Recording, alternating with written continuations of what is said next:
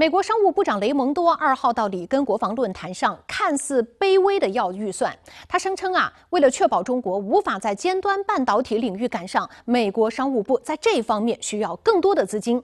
他只要两亿美元预算，这就是几架战斗机的价格。您如何观察雷蒙多的这番言论？雷蒙多的言论实际上反映了拜登政府在对华的这种竞争态势方面并没有改变。特别是在高科技领域，为此呢，他需要一方面进行这样一个国内的这样一个动员，包括国内的立法，包括对美国企业的补贴。那么在国际上呢，是不断的拉拢自己的盟国和伙伴，从而编织更加严密的对华技术封锁网络。但是这一战略的可持续性却面临着很大的挑战，特别是在美国国内。如何让美国的企业能够呃紧密地支持美国政府的这种不符合市场做法的这样一个对华的一个技术封锁，